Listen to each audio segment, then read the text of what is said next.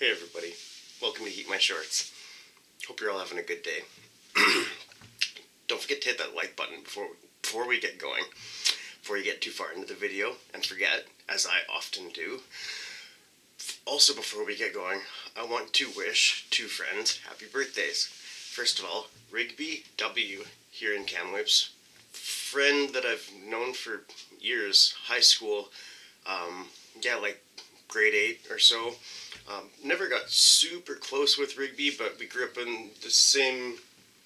Um, Maggie's growling. Grew up in the same neighborhood in Kamloops here, and went to the same high school for a while, and quite a few mutual friends, mountain biker friends, seen each other around quite a bit. But it's Rigby's birthday today, so I hope you have an awesome day today, Rigby. Hope you've been having an awesome year, and I hope the rest of the year is good to you as well. Also, Joseph S., somebody that I don't know personally, but somebody that added me on Facebook, and it's your birthday today. Uh, Joseph lives down in Tennessee, USA, so we may never meet, but that's okay. We don't have to ever have met to be friends. Uh, I consider you a friend, Joseph, and I hope you have an awesome day today and an awesome year. Everyone has an awesome day today and an awesome year. Wouldn't that be great if everyone could have an awesome day and an awesome year? Wouldn't that be wonderful? Um, I guess we have to have bad days here and there to show us, to remind us what a good day is like, because if they were all good days, we wouldn't know bad day, and then the days, the good days wouldn't seem that good, right? I don't know. That's one way of looking at it, I suppose. But I try to take every bad day as a lesson, even. Sometimes that's tough to see the lesson in the day for sure, but that's okay. I'm having a good day today, and I plan on keeping it that way. I actually have kind of a busy day ahead of me today, so that's why I'm up early. Well, you might not know that. It'll be, you know, 8 a.m. by the time this video is up, anyways, but um, it's nice to get that over and done with first thing in the morning. So, anyways, let's get to our review here without further delay. This is the second sauce in that Fuego box gift that showed up from my cousin Cat. This is a sauce from Los Angeles, California. This is from Sweet Heat Gourmet, and this is called Sinclair's Fatalii Hot Sauce. Pretty cool label there. It's very simple, just a nice yellow background, some yellow Fatalii peppers there and some information and a small write up there that I will read to you. Sinclair's Fatalii Hot Sauce. With the perfect balance of heat and mild citrus flavor, Fatalii peppers are featured in this fiery sauce that goes great on fish tacos, grilled shrimp. Ooh, I didn't look this word up. I didn't even notice it. Ceviche, caviche, I'm not sure what that is. Maybe that's quiche. No. C C E V I C H E. That is a new word to me. I'm gonna be looking that one up as soon as we're done this video. Uh, quesadilla, quesadillas, eggs, and pizza. This sauce was named after Sinclair, an eight-year-old who brought his homegrown fatalii peppers to Michelle years ago and asked her to make a hot sauce. That's really cool. So I don't imagine this sauce is made from Sinclair's peppers, but I believe this is Sinclair's recipe. Unless I'm mistaken, I don't know these people personally. I've never heard of this company even. This was just a part of that um, hot sauce subscription service that my cousin subscribed us to so kindly. Thank you so much for that, Cat. That's really cool. Um, show you the sauce here. It's got kind of a orangish brown, yellowish orangish brown. Yeah, it's got a really neat color. Look at the size of that piece right there. Might not be able to, yeah, you can kind of pick it up. It's a good sized piece of something in there. So there's some good chunks in this sauce. I can see some seeds, some pulps, some little flakes of things there. Um, they give it, they rate it quite hot on their heat scale there. sweetheatgourmet.com is their website.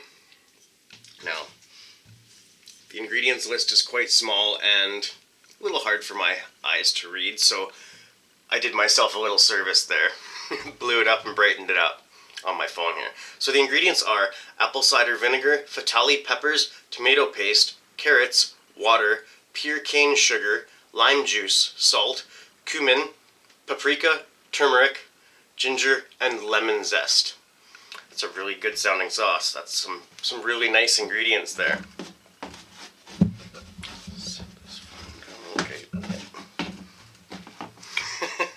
Jostling about. I was actually trying to stand my phone up so that as I taste the sauce I could still read that ingredients list, but it's gonna fall over, so I'm just not gonna bother. Let's open this up. Almost cut my finger there. Had my finger a little too far forward and this just scratched against my finger as it opened. I've definitely seen people cut their fingers on review videos before, but so far we've been lucky on this channel. It'll happen. I've had a pretty, pretty clean channel so far, I must say. I've had one nosebleed on a challenge, and I think that's about the worst of it. Um, had to edit out one curse word uh, on a live stream one time, but that wasn't too bad. But other than that, we've had a very clean channel. So let's give this a good shaky shake. Yeah, nice chunky consistency, but not super thick. It looks looks to be like a medium consistency. Medium to thick. Got that air bubble there. Excited to, to try this out. Oh, that's neat. On the, uh, it says Fuego on the bottle there. That's a part of the product code or whatever. That's interesting. I guess maybe Fuego Box might print that on when they get to the factory. I'm not too sure. The boxing factory, I don't know how that works. I still don't really know very much about Fuego Box. I still haven't even worked on that hot sauce diary, to be honest. I should probably find out what that's all about. But anyways, let's open this up.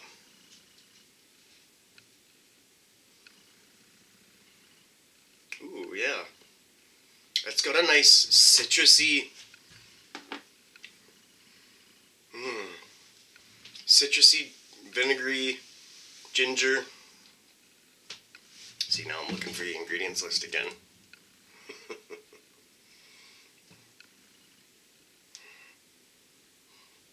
Definitely getting the vinegar. And that citrusy yellow pepper kind of a smell. And I want to say I'm getting some of that ginger. And I'm also getting some citrus, definitely because of the lemon zest, the lime juice. But yeah, definitely vinegar. Yeah, definitely apple cider vinegar. Um, right. Getting ahead of myself here. So.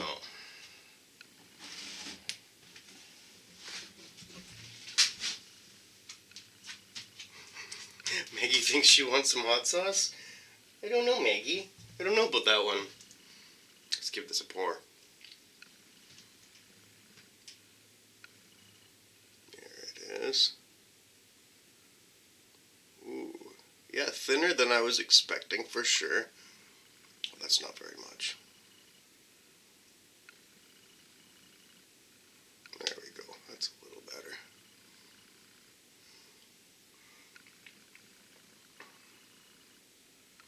Nice, nice consistency. Nice chunky complexion consistency. You can see the light bouncing off the. Yeah, it's got a nice texture to it from what I can see, visual texture. So, from Sweet Heat Gourmet, this is Sinclair's Fatalii Hot Sauce from Fuego Box. Heat my shorts.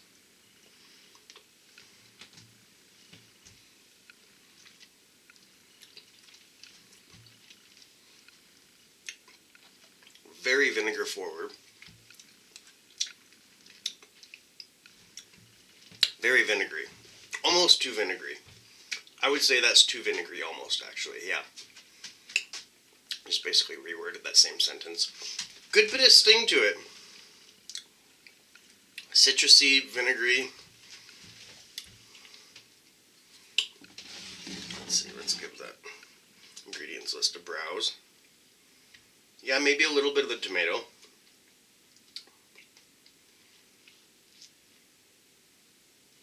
Hmm.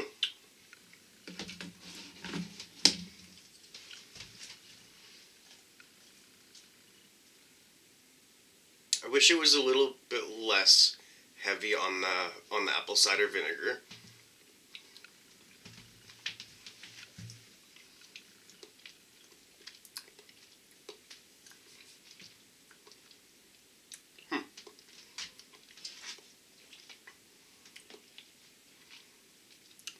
It almost kind of remem- reminds me of like candied peppers, like cowboy candy or candied habaneros or however you'd like to call those.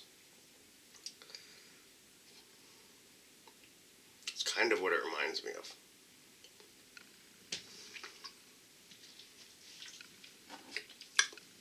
So with that taken into consideration, I don't to necessarily dislike this. I was leaning towards almost disliking it. Almost. Until I kind of made that connection. Um, it has very similar ingredients to candied hot peppers. From what I can remember, of course, I don't have that recipe memorized. Minus the tomato paste and the carrots. Which I'd say I am getting a little bit of the tomato paste. Not so much the carrots. The carrots are masked by those other ingredients. Maggie's very interested in this. That's that's funny. Um, pretty good little sting on that. It's early in the morning, first thing in the morning. Haven't had my tincture coffee this morning yet. But I'd say that put me to a let's say a 3 out of 10 on my heat scale as of right now. Your average habanero eating chili head, you'd probably find this to be maybe a 4 or a 5, maybe a 6 out of 10. Probably a 4 or 5 out of 10 for your average habanero eating chili head. If you're new or sensitive to spicy foods, this will be hotter for you. You might find this to be hmm, seven or eight, maybe even a nine. Yeah, eight or a nine or a ten out of ten. No, it's hard to say a ten out of ten. Seven, eight, or a nine out of ten, we'll say. I don't really know what a ten out of ten is. I don't know if I've ever been to a ten out of ten, and I've I've been through some some intense burns but it always seems to be a 9 out of 10. I always feel like I could take a little bit more. I guess a 10 out of 10 is when you when you fail your challenge or whatever is going on, you back out or hit the floor. I don't know. Haven't got to that point yet. One day. We'll keep trying, right? But yeah, this is a good sauce. Um, let's talk about parrots. Um, I'd say breakfasts. They mentioned fish. I'm gonna read what they recommended there. Fish tacos, yeah, tacos, quesadillas, eggs, pizza.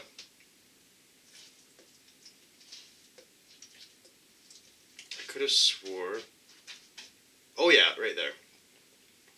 Grilled shrimp the word that I don't know that I'm not going to try to pronounce again. Eggs, pizza. Yeah, totally, that kind of stuff. Um, this would be really good on sandwiches, hot dogs, burgers, breakfast sandwiches. I think especially breakfast sandwiches. I feel like this would be really good with breakfast stuff. Um, not quite a dessert sauce.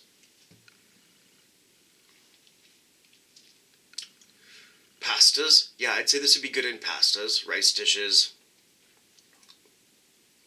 eggs for sure. Yeah, wraps, burritos, tacos, that that kind of stuff. Definitely good on fish, I would say. Yeah, that's what I'd pair it with. Just realized I had the hot sauce on my other shoulder. Got a little bit of sweat going on from that. A little bit. Mm-hmm. Not bad. I don't know why the parrot's still up there. Parrot time's over. um, would I restock this? Maybe. Yeah, I would. I would restock this one. I'm. I'm not. We're not. I, I'd say we don't don't need to keep a full full bottle of this one in the fridge at all times, but I would restock this one. It's good. Um, my first impression would have been no. Honestly, yeah. At first, I would I was a little bit disappointed, but the, the more I tasted it, it kind of grew on me. The more I kind of became accustomed with it, and you know, got got used to the flavors and got a feel for it. I like it. It's good. Would I recommend this one? Yeah. If you want a little bit of a heat, some if you if you can handle a vinegar forward sauce. Keep in mind, it's like pickles. It's like pickled peppers, sweet pickled peppers. Um, definitely vinegar, but some good burn, good citrusy flavors, great consistency, great texture. It's a good sauce. I really like this. Thank you very much for signing up for this Fuego Box subscription, Cat. I see that our second one has now shipped, and we've just finished reviewing the second sauce. So um, that worked out kind of perfect. Um, won't be a lot of down downtime in between the Fuego Box sauces. I suppose we should start a playlist for the Fuego Box sauces now. Um, yeah, this is awesome. Thank you so much, Cat. We love you. We really appreciate you. And uh, we should keep in better contact. I know we say that all the time, but maybe I'll shoot you a text today. Oh, it's a pretty busy day. I'll try to. if you see this, text me. um, SweetHeatGourmet.com is the website for Sweet Heat Gourmet. um, based on this first sauce, I highly recommend checking it out. Um, like I said, it's, it's vinegar forward, but I like it. I'm not usually one to really like a, a vinegar forward sauce, but if it's well balanced with other things, it's good. And I think we can definitely find more uses for this sauce than what I've just said there. I mean, I guess I listed quite a few, quite a variety there, but kind of the usual variety too, isn't it? Oh well, I'm not that creative. I'm not that, you know, diverse with my types of meals and things that I'm used to. I don't know. Maybe I am. Maybe I'm not. Maybe I'm just not using my imagination enough. It's early in the morning. But anyways, Maggie's kind of pouting. She looks sad. Let's tilt down and have a little Maggie hangout. Yeah, there she is. Actually, maybe just a bit more.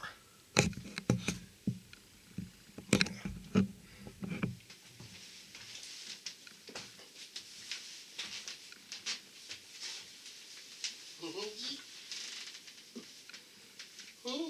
How you doing? Why you look sad? Come here. Why you look sad? I got your Foxy.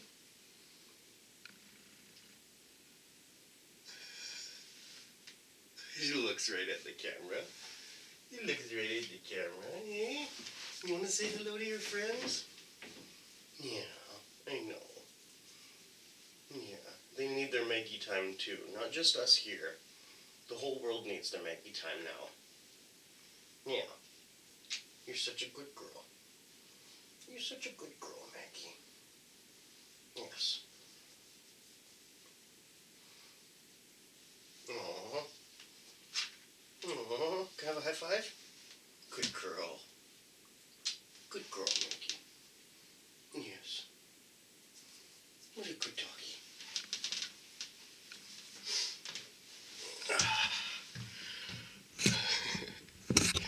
oh, camera's locked pretty solid there. Uh, I don't know, something like that. Hmm, I brought Grogu. it's actually a teddy bear, but I borrowed him. Sweetie Short said I could. I asked. It's hers. It's actually hers. but anyways, go back to this one more time. Sinclair's Fatalii hot sauce from Sweet Heat Gourmet. Yeah, I like it. Took me a little bit of getting used to, I will admit, because it is very, very vinegary, but that's okay. Nothing wrong with a little vinegar, right? I dig it. Hopefully, we can try some more of their sauces. I've never heard of them and I've never seen them around, but now I will be keeping an eye out for that company name. So I guess we'll wrap this video up here. It's a 20 minute video now. These videos seem to be getting longer. The camera is horribly crooked. That's a little better. a little better. Um, yeah, hope you all have an awesome day today. I plan on having a good day. It's going to be busy, but it's going to be a good day. Um, I haven't thought about any sort of a. Okay, I know what I'll do here. In this corner, I'm going to leave our Heat My Shorts logo, and in this corner, the Capsaicin Clinic. Go check out Justin's channel. He's awesome. It's a great channel. And up here, two relevant playlists for you to enjoy. Have a great day. I love you all. We will hang out again soon, I promise. This has been Heat My Shorts with Maggie and Steve, The Maggie Show. Bye bye.